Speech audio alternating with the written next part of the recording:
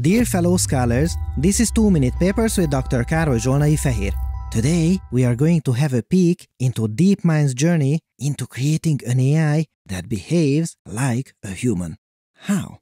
Well, by dropping it into a virtual playhouse, asking humans to give it tasks, judging it rather harshly, and hoping that it learns something from it. But not so fast. First, we have to start with an AI agent a little assistant that already knows a few things. Just dropping a randomly acting agent into this game would do no good. So, how do we do that? Well, scientists at DeepMind say that first we should ask it to look at humans interacting with previous AI agents and have it copy them. Let's call this behavioral cloning. So, how good is behavioral cloning? Well, the answer is not good at all. Let's have a look together. This agent has looked at humans building towers from books, and now it's your turn, little AI. And it does not too well, I am afraid. Oh my, that is not good.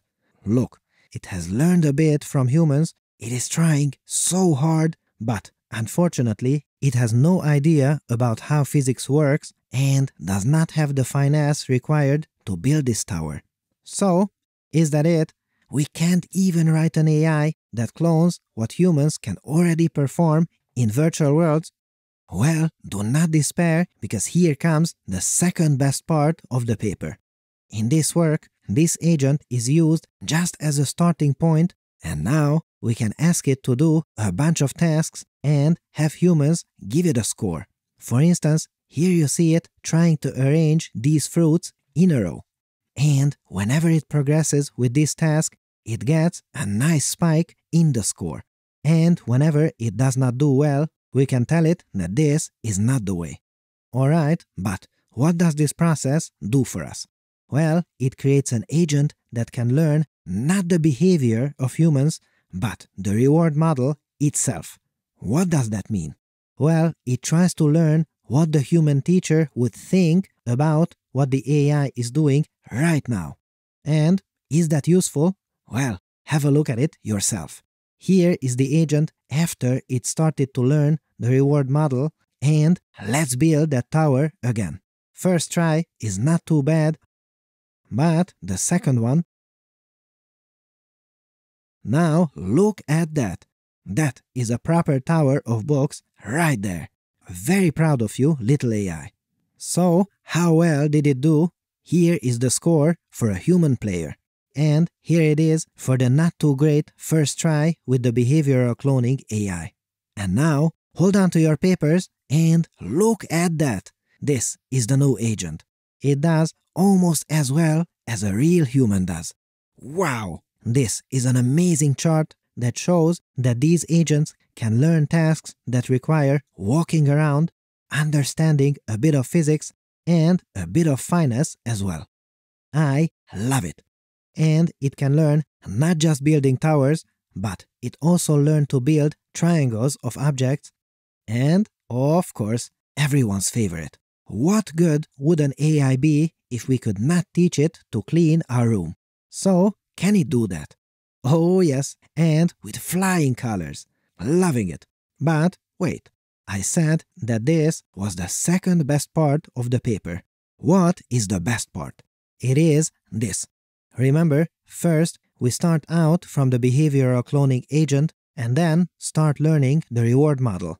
This does nearly as well as a human does, so that is absolutely amazing. We can teach an AI to behave like a human does in these tasks. That is incredible. But that's not it. Get this, if we repeat this process and let it learn for a bit longer, we get this. Whoa! Are you seeing what I am seeing? Yes, that's right. If we let it train for a bit longer, and this happens, it can even surpass humans building that tower. An AI that learns from humans and over time even surpasses humans. And wait, it gets better. It surpasses humans not just on this one particular task, but on a set of over 150 standardized tasks. Here they are. Generally, it greatly outperforms in instruction following type tasks, while it is a bit worse than humans at answering questions, but it still does really well. Wow! Perhaps this is one more step towards general intelligence. And also, welcome to 2 Minute Papers, land of the fellow scholars who look at bar charts and make happy noises. Yeah, what a time to be alive! If you're looking for inexpensive cloud GPUs for AI, Lambda now offers the best prices in the world for GPU cloud compute. No commitments or negotiation required. Just sign up and launch an instance. And hold on to your papers because with Lambda GPU Cloud, you can get on demand A100 instances for $1.10 per hour versus $4.10 per hour with AWS. That's 73% savings. Did I mention they also offer persistent storage? So, join researchers at organizations like Apple, MIT, and Caltech in using Lambda Cloud instances, workstations, or servers.